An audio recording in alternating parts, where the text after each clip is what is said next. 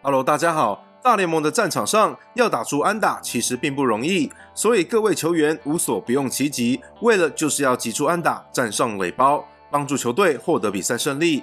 今天带您看一些点小球变安打的例子。首先，我们带您来看教士队的 Alexi Amarista，他点球沿着三垒边线，所有道奇球员都站着看，希望球可以滚出界外。三垒手、捕手、投手都跑过来看，结果球还是落在界内。捕手懊恼的甩手，投手也不爽的捡起球来。再来是前洋基明星二垒手 Robinson Cano，波士顿红袜的特别布阵让他有机可乘。他往三垒边线点，一不小心球就滚过三垒手 Steven Drew。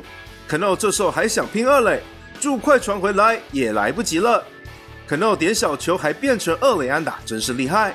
这位明星二垒手待在洋基九个球季之后，在二零一四年与西雅图水手签下当时最大的十年两亿四千万美元合约。接下来是在二零一二一四年球季待在洋基的林威朗，他点到投手跟三垒之间，蓝鸟投手将球捡起来往三垒传，结果发生爆传，二垒上的跑者冲回来得分，一垒上的 Francisco Savelli 也回来得分。铃木一朗的内野安打制造了两分，而且还帮助洋基取得五比三的领先。接下来是皇家队的 Alcides Escobar，他点的这球其实点的不好，变成内野小飞球，但是投手扑过来接没接到，反而让球往反方向滚。Escobar 也马上冲向二垒，一个点不好的小球反倒成为内野的二垒安打。接下来是前红袜传奇球星 David Ortiz，由于他喜欢拉打。所以，任何球队面对他的时候，都会采取特别的防守布阵。他也把握住机会，往没有人的三垒点。这突如其来的点球，也让水手队完全没有机会。勇士队的 Eric Young 面对大都会 Bartolo Colon，这个点球直接是超越了二垒手的防守范围，飞到右外野的草地上。现场主播也称这球为历史飞最远的点球。接下来是双城的前明星二垒手 Brian Dozier。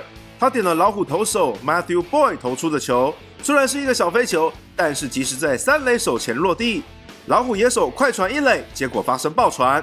这除了是一支内野安打之外，也是三垒手的失误。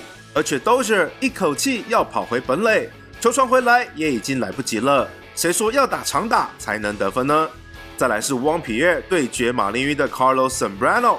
皮尔用敲打的方式将球打在地上，没想到这球的弹跳距离飞越三垒手，滚到左外野草地，这也轻松的成为一支二垒安打。我只记得前勇士明星游击手 Rafael Furcal 有这个能力，没想到皮尔也有这样的实力。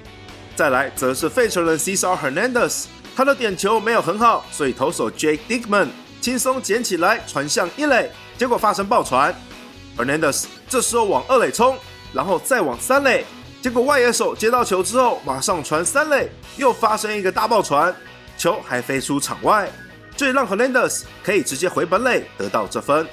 再来，我们看两千年初的时候，运动家 Ramon Hernandez 的点球点到投手 Derek Lowe 与三垒手之间，三垒手接到球也已经来不及抓往本垒冲的跑者了。Hernandez 的强迫取分，帮助运动家在十二局下以五比四击败红袜。